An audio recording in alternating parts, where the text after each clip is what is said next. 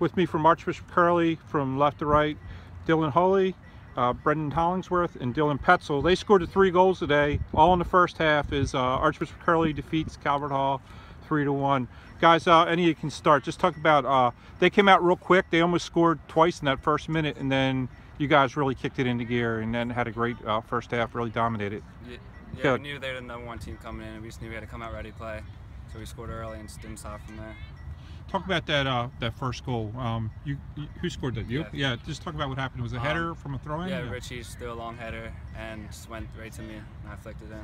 And um, this this game's real important. You guys have been aiming for one of those top two seeds. Uh, you still got some work to do, but this is a big step in the right direction, right? Yeah, this was a huge win for us uh, coming in. We were pretty much we were even with them on ties and losses. So uh, getting this, we just control our own destiny now. If we win out, we should be the number one seed, and that's big for us getting an extra day rest. And with the league being so tough this year, I mean, you got uh, Mount St. Joe, Gilman, and you still got to play Gilman twice. Uh, um, you guys have to finish it to get to where you want to be, right? Yeah, Gilman should be a tough team to beat. I'm pretty sure they beat McDonogh 2 nothing, I think, so that should be a good game. All right. Uh, there's three goal scorers today as Curley beats uh, Calvert Hall 3 to 1. Thanks, guys. Thank you.